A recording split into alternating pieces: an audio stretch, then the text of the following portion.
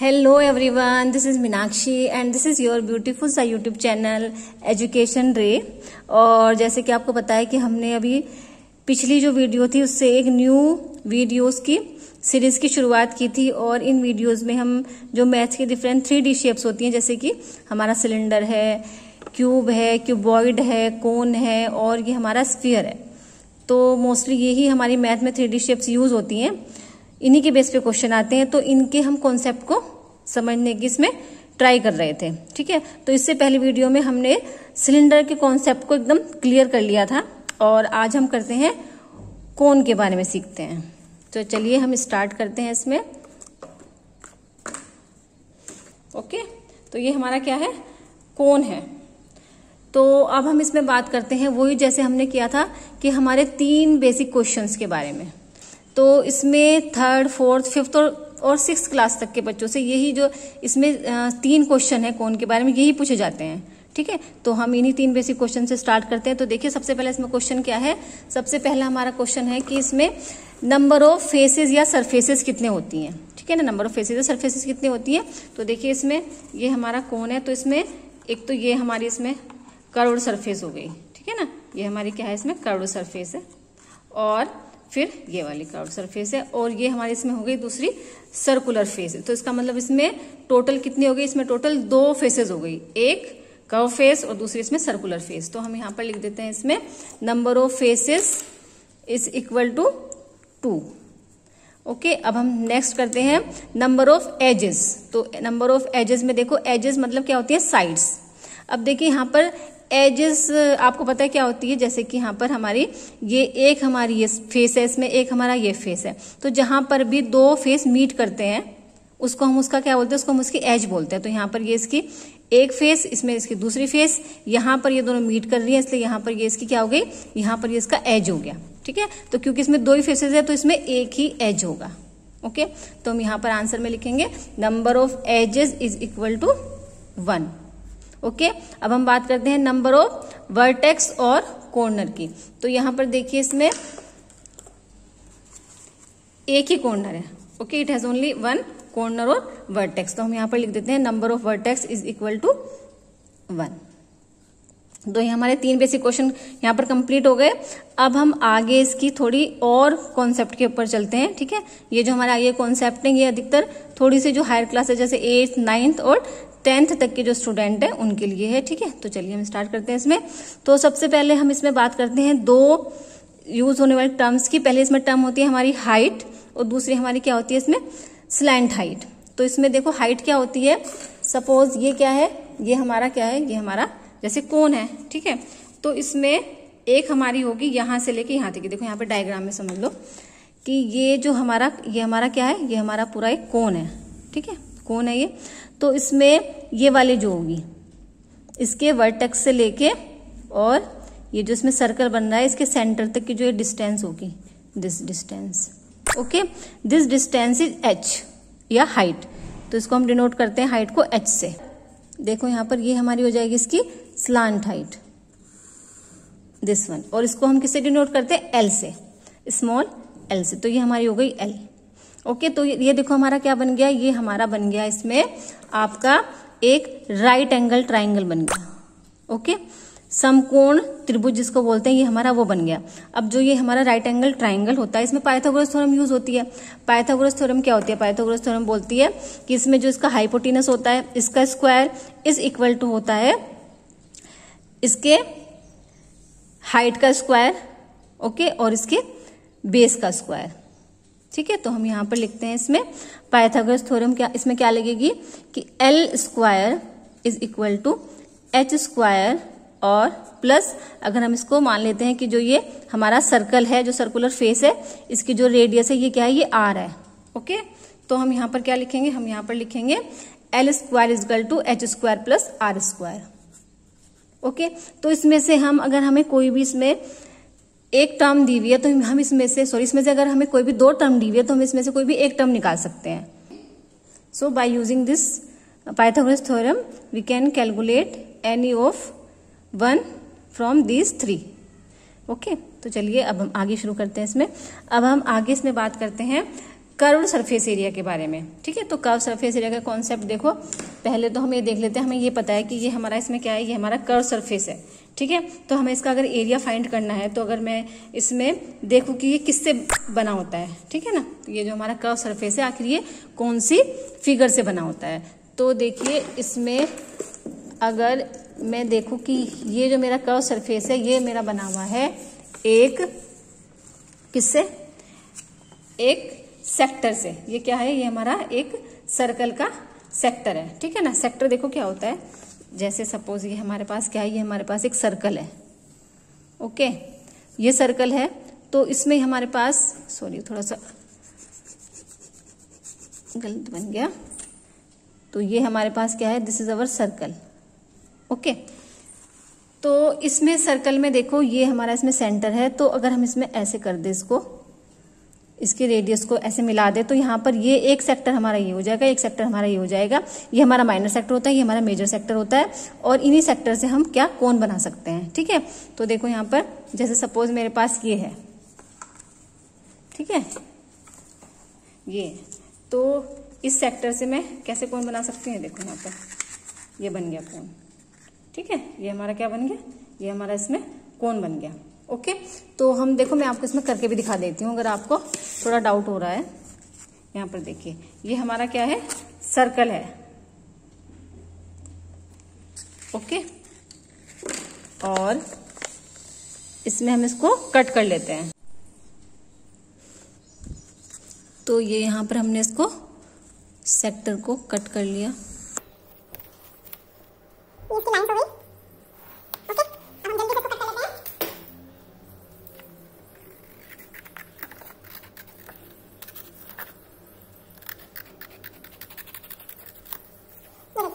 ये हमारे दो सेक्टर है वैसे तो। एक सेक्टर हमारा ये है तो इससे भी हमारा देखो ये कौन बन जाएगा। ओके? इससे भी हमारा क्या बन जाएगा? कौन बन जाएगा? ठीक है?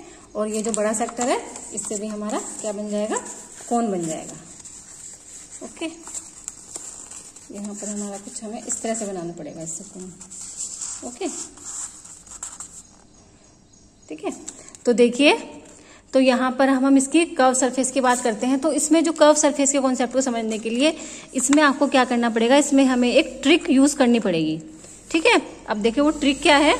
अगर हम इसके ये जो हमारा सेक्टर है है ना? अगर हम इसके सेक्टर के एरिया को निकाल लें तो इसका मतलब ये हमारा, क्योंकि जो सेक्टर है, इसी से हमारा क्या बनता है? इसी से हमारा ये कर्व सरफेस बनता है। तो इसका जो कर्व सरफेस एरिया है, वो इस सेक्टर के एरिया के बराबर हो जाएगा। तो हम पहले इसका एरिया निकालते हैं। देखिए, इसका एरिया निकालने की ट्रिक यूज़ करनी पड़ती है। वो ट्रिक क्या है? कि पहले हम जो ये हमारा सेक्टर है, इसको इसको हम बहुत सारे ट्राइंगल्स में डिवाइड कर लेते हैं, ठीक है? ये मैंने इसको बहुत सारे ट्राइंगल्स में डिवाइड कर लिया। हंड्रेड्स ऑफ़ ट्रायंगल्स में हम इसको डिवाइड कर सकते हैं। ओके तो ये मैं थोड़े में कर रही हूँ। ठीक है तो हमने सपोज़ मैं इसको और भी कर, कर लूँगी तो हम समझ समझ सकते हैं कि यहाँ पर हमने इसको एन नंबर्स में डिवाइड कर लिया। एन ट्राइंगल्स में इसको हमने डिवाइड कर लिया। तो यहाँ पर अब हम इनका सबका एरिया निकालेंगे। ठीक है ना? अब आपको पता है ट्राइंगल का जो एरिया होता है वो क्या होता है? Half into base into height होता है। ठीक है? तो चलिए हम इसमें स्टार्ट करते हैं। तो और इसमें हम इसकी जो हाइट लेंगे, देखो ये तो इसमें इनका, इन सब ट्राइंगल के ये तो बेस हो जाएँगे। इसका base B one B two इसका, इस वाले ट्राइंगल का बी थ्री इस वाले का बी फोर और जो इनकी हाइट हो जाएगी, वो हो जाएगी इसकी ये। जो ये इसकी सारी की सारी जो रेडियस है इसकी, वो सब इसकी हाइट हो जाएँगी तो सबके सब ये क्या होंगी, इन सबको हम मान लेते हैं, ये एल है। ओके? एल से हम हमने इनको एल मान लिया तो ये भी एल एल एल एल सब एल एल हो जाएगी। है? तो अब इसी के बेस पे चलो, हम करते हैं अपना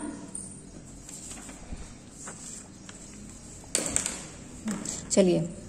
तो ये है हमारा कर्व सरफेस एरिया तो कर्व सरफेस एरिया बराबर क्या हो जाएगा? Area of all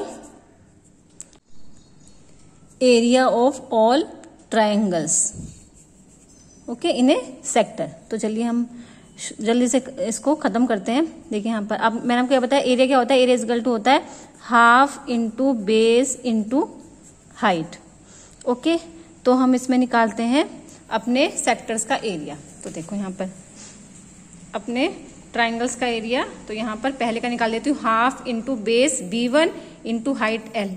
दूसरे का half into base B two height L. ठीक है ना? तो ऐसे हम निकालेंगे। तो half into base B one और हाइट क्या हो जाएगी?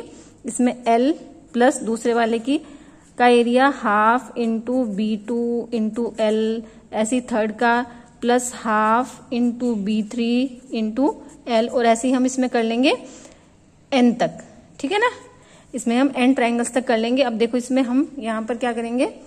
यहाँ पर हम कर लेते हैं हाफ़ कॉमन और इसमें से सब में से एल कॉमन एल कॉमन ले लिया हाफ़ कॉमन ले लिया, अंदर क्या बचा?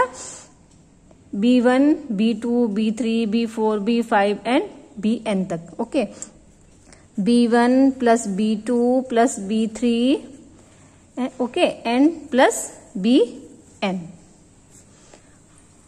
और अब यहाँ पर हमारा, देखो, अब ये देखो आप, ये B one B two B three B N ये देखो, ये बहुत ध्यान से देखो। एक छोटा सा बस, एक छोटी सी इसमें यहाँ पे कॉन्सेप्ट है। क्या है वो कॉन्सेप्ट देखो यहाँ पर, वो कॉन्सेप्ट ये है आपका जो ये आपका पूरा B one B two B three है ओके ये देखो और ये देखो, ये ये है, ये वाला है, ये पूरी लेंथ जो है, ये है हमारा जो B one B two B three B four और बी एन तक। तो ये क्या है? ये हमारा है इस सर्कल का सरकमफ्रेंस ओके ये क्या है? ये हमारी है इस सर्कल की सरकमफ्रेंस तो चलिए हम, हमें पता है फॉर्मूला क्या होता है? सर्कल की सरकमफ्रेंस का हम यहाँ पे फॉर्मूला रख देते हैं बी वन बी टू और बी थ्री के प्लेस पर। तो चलिए हम यहाँ पर रख देते हैं।